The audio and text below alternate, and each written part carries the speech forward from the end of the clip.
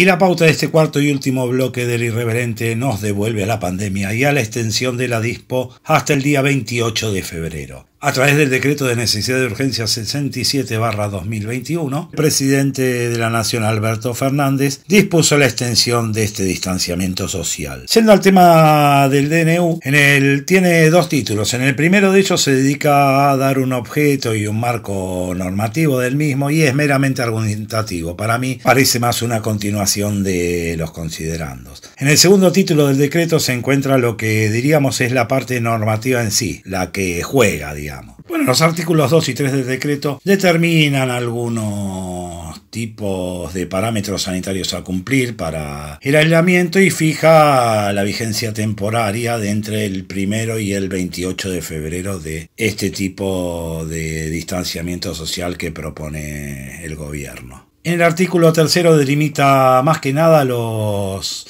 espacios geográficos de aplicación de la norma. El artículo cuarto plantea la facultad de cualquier estado del país a limitar la circulación atendiendo a la pandemia. Ojo, este artículo también faculta a los gobernadores y al jefe de gobierno, pueden determinar el aislamiento preventivo por 14 días, es decir, una forma de darles la posibilidad de aplicar un estado de sitio light a los señores gobernadores. Peligrosísimo este artículo cuarto. Ya vimos lo que ha pasado en Formosa. En el artículo 5 es la definición de lo que es el dispo, lo, más o menos lo mismo que hasta ahora, los dos metros de distancia y bla, bla, bla, bla. Eh, los artículos 6 y 7 refieren a los protocolos de actividades deportivas, económicas y artísticas. El artículo 8 habla de las actividades prohibidas durante el pedido. Centralmente prosigue la prohibición para cines, teatros, clubes y centros culturales. Se prohíbe todo tipo de eventos en espacios cerrados con más de 20 personas y en espacios abiertos la limitación de la concurrencia a los eventos debe ser de 100 personas. El artículo 9 nos habla específicamente de la aplicación de la, aunque el artículo 10 posteriormente dice que ningún estado ni municipal ni provincial se encuentra calzado por el artículo 9. Pero bueno, prepara la cosa como para la aplicación del ASPO. En tal caso podemos saltearnos unos cuantos artículos, ir al artículo 24 que es importantísimo ya que habla de la evaluación del reinicio de clases presenciales. El artículo 29 del decreto es eminentemente punitivo. Vuelve a insistir con los artículos 205 y 239 del Código Penal para habilitar, por ejemplo, a las policías que detuvieron a las concejalas en Formosa. Una joyita este documento de 28 páginas, cuyo link pondremos en la descripción de este video. Centralmente plantea estos temas que les hemos referido. Los instamos a que lo lean para que, porque cuando un pueblo hable, decía una canción, no lo engañe un brigadier. Parece que en la Rosada ya se dieron cuenta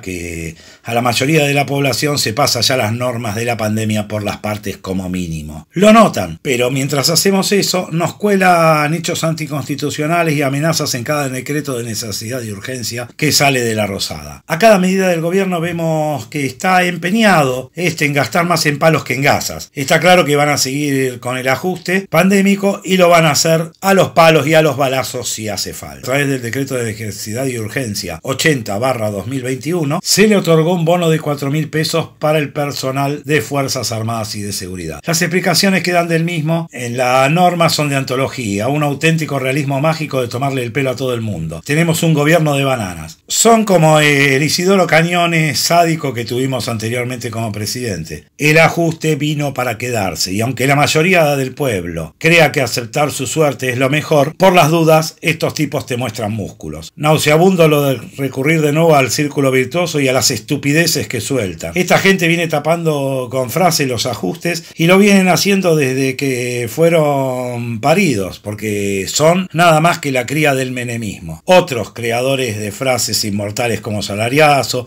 revolución productiva, década ganada, que marcan lo que siempre prometieron y nunca ocurrió. Quieren pelear y meter palos, pero a la vez nadie come ya vidrio. Lean los decretos por ustedes mismos, que sepan que no nos gustan algunas cosas. Va a haber ajuste y va a pasar como sea, salvo que el pueblo haga saber que algo no lo va a tolerar y veremos cómo retroceden sin vergüenza. Ellos carecen de ella, mientras el Estado no se sienta limitado, avanzará sobre la sociedad civil cuando se le dé la gana. En la descripción de este video también podrán encontrar el link que los va a llevar directamente al texto del decreto 80 barra 2021 para que lo lean ustedes mismos. No es necesario que crean todo lo que desde este irreverente se diga.